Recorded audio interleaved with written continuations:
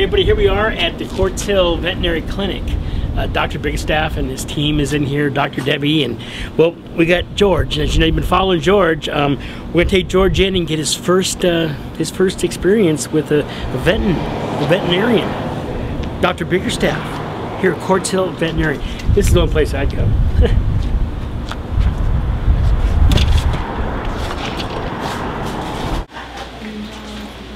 Dr. Biggerstaff. How are you? Well, good. As you know, we've had a child. Yeah, congratulations. Thank you, thank you, and uh, he looks like you.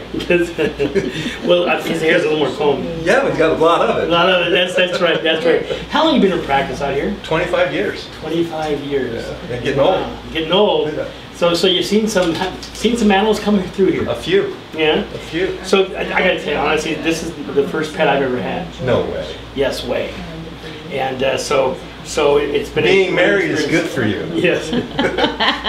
It grows the heart, doesn't it? so being being uh, 12 weeks old, 13 weeks old in that area, what what what do we need to do? Uh, we're just going to give George a, uh, you know cursory physical today, and then talk about his vaccination status and his deworming status, and just real general health things. I mean, he looks wonderful. Um, you're not bringing him in because he's ill, No. So we don't have to address any specific history of an illness. So we're just going to start from a, a general well-being standpoint and, and discuss what he needs as- far as you know his, his general preventative health care, the vaccinations, deworming, and um, maybe diet and, and and yeah, probably diet and say no people food. No people food.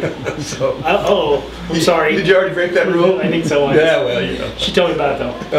Uh, but no, doing really good. Uh, but at, at this age, it's, it's important to come in and start start. Yeah, yeah, I recommend six to eight weeks start on the vaccinations. Um, the Antelope Valley is notorious for that parvovirus. It's a dry, windy area, and dogs that aren't properly vaccinated are very susceptible to it. And, and if they haven't been vaccinated, they'll probably get it, and it's fatal in a lot of cases. It's it's a bad bug. Vaccines work good. I mean, compared to where I started 25 years ago, the vaccines are so much better now. Um, we can really provide some protection for these kids, but they got to get them.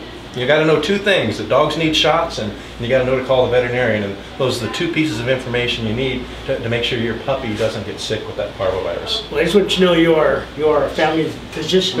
Okay. Okay, so what, what we're excited about about about this ad in our life, and uh, it's been wonderful. Well, again, congratulations. He looks he, he, he goes good with you. Uh, thank you. Okay, we'll show you more.